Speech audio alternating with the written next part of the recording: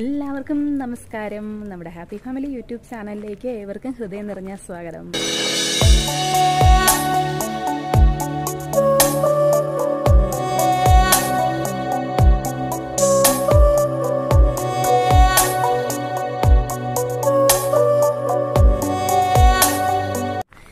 എല്ലാവരും സുഖമായിട്ടിരിക്കുന്നല്ലോ അല്ലേ? അപ്പം ഞാനും ഇവിടെ സുഖമായിട്ടിരിക്കുന്നു. അപ്പം നമ്മുടെ കഴിഞ്ഞ വീഡിയോ എല്ലാവരും കണ്ടു കാണുമല്ലോ അല്ലേ? അതായത് നമ്മുടെ ഷൂ ക്ലീൻ ചെയ്യുന്ന വീഡിയോ ആയിരുന്നു വൈറ്റ് ഷൂ വളരെ എളുപ്പത്തിൽ വളരെ ഭംഗിയായിട്ട് ക്ലീൻ ചെയ്യുന്ന ഒരു വീഡിയോ ആയിരുന്നു അപ്പം ആ ഒരു കണ്ടന്റ് ആവശ്യമുള്ളവരൊക്കെ ഇപ്പോൾ ഈ വീഡിയോ കാണുന്നവരുടെ കൂട്ടത്തിലുണ്ടെങ്കിൽ ഒന്ന് ചെന്ന് ഒന്ന് കണ്ടു നോക്കൂ കേട്ടോ. പ്രത്യേകിച്ച് സ്കൂളിൽ പോകുന്ന കുഞ്ഞുങ്ങളുടെ അമ്മമാർക്ക് വേണ്ടിയിട്ടാണ് ഞാൻ ആ ഒരു വീഡിയോ ഡെഡിക്കേറ്റ് ചെയ്തിരുന്നത്. ഓക്കെ അപ്പം എല്ലാവരും ഒന്ന് കണ്ടു നോക്കണേ. നിങ്ങൾക്ക് എന്തായാലും വളരെ യൂസ്ഫുൾ ആകും. ഓക്കെ. അപ്പോൾ ഇന്ന് ഞാൻ വന്നിരിക്കുന്നത് നമ്മൾ തട്ടുകടയിൽ നിന്നൊക്കെ ചിക്കൻ ഫ്രൈ വാങ്ങാറില്ലേ? അപ്പോൾ നമ്മളിങ്ങനെ ആലോചിക്കാറുണ്ട് അവൾ അവരെങ്ങനെയാണ് ഇത്രയും ടേസ്റ്റിൽ ചിക്കൻ ഫ്രൈ ഉണ്ടാക്കുന്നതെന്നല്ലേ?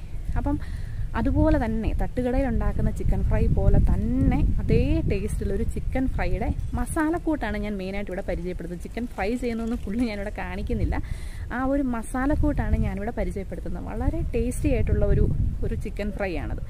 ഞാൻ ഇവിടെ മിക്കവാറും ചെയ്യാറുള്ള ഒരു റെസിപ്പിയാണ്. ഞങ്ങളുടെ വീട്ടിൽ ചിക്കൻ ഫ്രൈ ചെയ്യുമ്പോൾ ഈ ഒരു കൂട്ട് യൂസ് ചെയ്തിട്ടാണ് ഞാൻ ചെയ്യുന്നത്. പിന്നെ എന്തേ ഇത്ര വൈകി ഈ ഒരു വീഡിയോ അപ്ലോഡ് ചെയ്യാമെന്ന് ചോദിച്ചിട്ടുണ്ടെങ്കിൽ എനിക്ക് ചിക്കൻ ഫ്രൈ ചെയ്ത് കഴിഞ്ഞാൽ വീഡിയോ എടുക്കാനൊന്നും കിട്ടാറില്ല. കാരണം എല്ലാവർക്കും അറിയാവുന്ന കാര്യമാണ്. നമ്മൾ ചിക്കൻ ഫ്രൈ ഒക്കെ ഉണ്ടാക്കുമ്പോൾ അത് നമ്മൾ വറുത്ത് കോരിയിടുന്ന അറിയാതെ വീട്ടിൽ കുഞ്ഞു മക്കളൊക്കെ ഉള്ളവർക്കൊക്കെ അറിയാം. അത് കോരിക്കൊണ്ട് പോകും അല്ലേ? അപ്പം അതുപോലെ തന്നെയാണ് ഇവിടെ സംഭവിക്കാറുള്ളത്.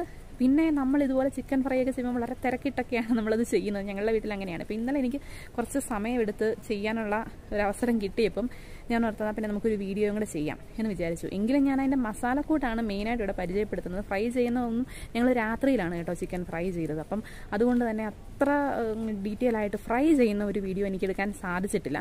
അതുകൊണ്ട് തന്നെ നിങ്ങൾ ഈ മസാലക്കൂട്ട് നിങ്ങൾ തമ്മയിലെ ഫോട്ടോ ഒന്നും വലിയ കാര്യമാക്കണ്ട കേട്ടോ. കാരണം വളരെ കുറച്ച് എനിക്ക് ഫോട്ടോ എടുക്കാൻ കിട്ടിയുള്ളൂ അതാണ് കാര്യം. ഈ ഒരു മസാല മസാലക്കൂട്ട് എന്തായാലും വളരെ ടേസ്റ്റി ആയിട്ടുള്ള ഒരു ഒരു ഫ്രൈ ആണ്. വളരെ അത്ര ടേസ്റ്റി ആയിട്ടുള്ളൊരു മസാലക്കൂട്ടാണ് അപ്പം ഇത് കണ്ടിട്ട് എല്ലാവരും ഒന്ന് ട്രൈ ചെയ്ത് നോക്കിയിട്ട് നിങ്ങളുടെ അഭിപ്രായം ഒന്ന് കമന്റായിട്ട് അറിയിച്ചാൽ വളരെ ഉപകാരമായിരിക്കും. എന്താണെന്ന് വെച്ചിട്ടുണ്ടെങ്കിൽ ഈ വീഡിയോ ഇങ്ങനെ സെർച്ച് ചെയ്ത് നമ്മളെല്ലാവരും അറിയാലോ നമുക്കൊരു റെസിപ്പി ചെയ്യണമെന്ന് തോന്നിയാൽ നമ്മൾ യൂട്യൂബിൽ സെർച്ച് ചെയ്യും. അപ്പോൾ അങ്ങനെ സെർച്ച് ചെയ്ത് വരുന്ന ആൾക്കാർക്ക് അത് മേ ബി യൂസ്ഫുൾ ആയിരിക്കാം. അപ്പോൾ നിങ്ങളുടെ കമൻസ് എന്തായാലും അറിയിക്കണം. ഓക്കെ അപ്പോൾ അതിന് മുന്നേ ഞാൻ നിങ്ങളെ വേറൊരു ഒരു കൂട്ടം കാണിച്ചു തരാം കേട്ടോ.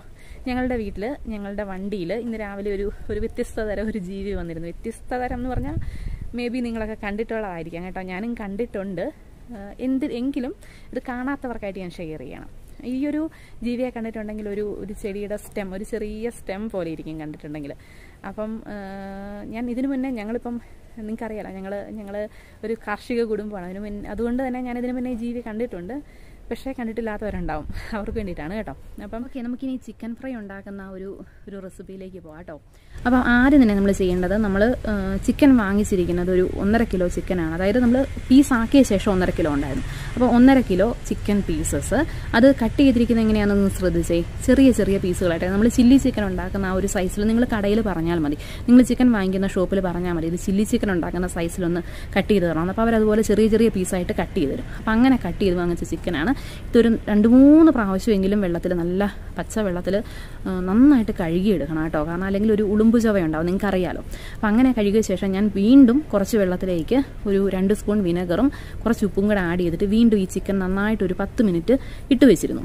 ഏഹ് അപ്പം അങ്ങനെ പത്ത് മിനിറ്റ് വീണ്ടും ആ ചിക്കൻ ഇട്ട് വെച്ചിട്ട് വീണ്ടും ഒന്നുകൂടെ നന്നായിട്ട് വാഷ് ചെയ്തിട്ട് ഒരു ഡ്രെയിനറിൽ നമ്മൾ ചോറൊക്കെ വാർക്കുന്ന ഡ്രെയിനറില്ലേ ആ ഒരു ഡ്രെയിനറിലിട്ട് നന്നായിട്ട് അതിന്റെ വെള്ളം വാർത്ത് കളയണം. ഓക്കെ ഇപ്പോൾ ഫ്രൈ ചെയ്യാനായതുകൊണ്ട് ഒട്ടും വെള്ളം പാടില്ല. പറ്റുമെങ്കിൽ കൈ കൊണ്ടൊന്ന് ഞെക്കി പിഴിഞ്ഞ് അതിന്റെ വെള്ളമൊക്കെ നന്നായിട്ടൊന്ന് കളഞ്ഞോളൂ കേട്ടോ. അപ്പോൾ അങ്ങനെ വെച്ചിരിക്കുന്ന ചിക്കനാണിത് ഇനി ഇതിലേക്ക് ആഡ് ചെയ്യാനുള്ള മസാലകളൊക്കെ നമുക്കൊന്ന് പരിചയപ്പെടാം. അപ്പം ഞാൻ നിങ്ങൾ ശ്രദ്ധിച്ചല്ലോ ഞാൻ ഓൾറെഡി ഒരു മിക്സർ മിക്സിയുടെ ജാറിലാണ് ഈ ഒരു മസാല കൂട്ടെല്ലാം എടുക്കുന്നത്. ഓക്കെ മിക്സിയുടെ വലിയ ജാർ തന്നെ എടുത്തിരിക്കും എടുത്തിട്ടുണ്ട്. ഇത് എന്തിനാണെന്ന് ചോദിച്ചിട്ടുണ്ടെങ്കിൽ നമ്മൾ ഈ മസാല കൂട്ടുകളെല്ലാം കൂടെ ആദ്യമേ നന്നായിട്ടൊന്ന് മിക്സായി കിട്ടണം. അതിന് ശേഷം വേണം നമുക്കിത് ചിക്കനിലേക്ക് തിരുമ്മി പിടിപ്പിക്കാൻ. അപ്പം ആദ്യം തന്നെ ഞാനൊരു രണ്ട് കുടം വെളുത്തുള്ളിയും നമ്മുടെ ഈ ഒരു വിരലിന്റെ വലുപ്പത്തിൽ ഒരു മൂന്ന് ചെറിയ പീസ് ഇഞ്ചിയും ഞാൻ നന്നായിട്ടൊന്ന് ചതച്ച് വെച്ചിട്ടുണ്ട്. ഇനി ചതച്ച് വെച്ചതിനകത്തേക്ക് ഞാൻ ആഡ് ചെയ്യാൻ പോകുന്നത് രണ്ടര ടീസ്പൂൺ കാശ്മീരി മുളക് പൊടി. നിങ്ങൾക്ക് വേണമെങ്കിൽ പകുതി പകുതി കാശ്മീരിയും നോർമൽ മുളക് പൊടിയായിട്ട് എടുക്കാം. ഞങ്ങൾക്ക് ഇവിടെ എരിവ് പറ്റത്തില്ലാത്തത് കൊണ്ടാണ് ഞാൻ ഇങ്ങനെ എടുത്തിരിക്കുന്നത്. രണ്ടര ടീസ്പൂൺ കാശ്മീരി മുളക് പൊടി ഒരു അര ടീസ്പൂൺ ഒരു സ്പൂൺ അല്ല സോറി അര ടീസ്പൂൺ നമ്മുടെ ഗരം മസാല ഒരു ടീസ്പൂൺ കുരുമുളക് പൊടി. ഒരു ടീസ്പൂൺ കുരുമുളക് പൊടിക്ക് പകരം എരിവ് വേണമെങ്കിൽ കുറച്ചും കൂടെ ആഡ് ചെയ്യാം.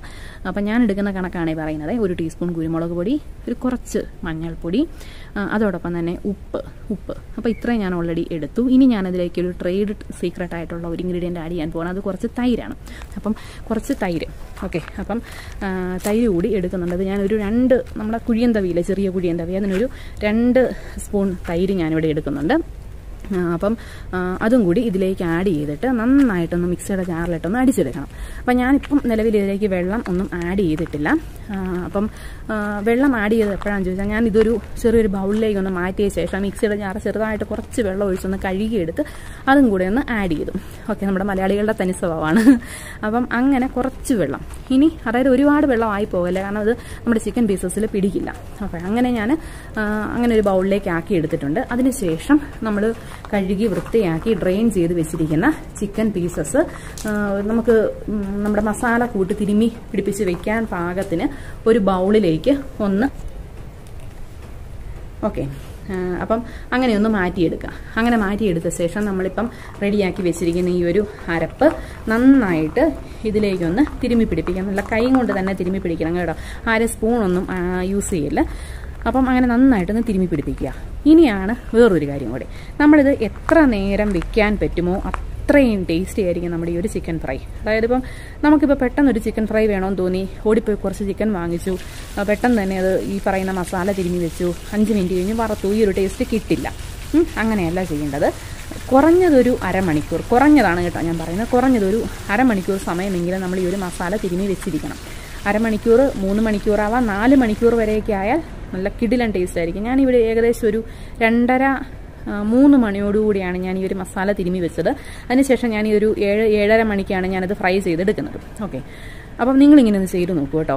നല്ല കിടിലൻ ടേസ്റ്റ് ആയിരിക്കും. ഞാൻ ഗ്യാരണ്ടി അപ്പം ഇന്നത്തെ ഈ ഒരു കണ്ടന്റ് നമ്മളുടെ ഈ ഒരു കുഞ്ഞു വീഡിയോ എല്ലാവർക്കും ഇഷ്ടമായി എന്ന് വിശ്വസിക്കുന്നു. ഇഷ്ടമായെങ്കിൽ തീർച്ചയായിട്ടും അഭിപ്രായങ്ങൾ കമന്റ് ചെയ്യുക. ആദ്യമായിട്ട് നമ്മുടെ ചാനൽ കാണുന്ന കൂട്ടുകാരൊക്കെ തീർച്ചയായിട്ടും നമ്മുടെ ചാനൽ ഒന്ന് സബ്സ്ക്രൈബ് ചെയ്യുക. തൊട്ടടുത്തുള്ള ബെല്ലൈക്കൺ പ്രസ് ചെയ്യുക. അപ്പം നമുക്ക് അടുത്ത വീഡിയോയിൽ കാണാം. എല്ലാവർക്കും ഒരുപാട് ഒരുപാട് നന്ദി.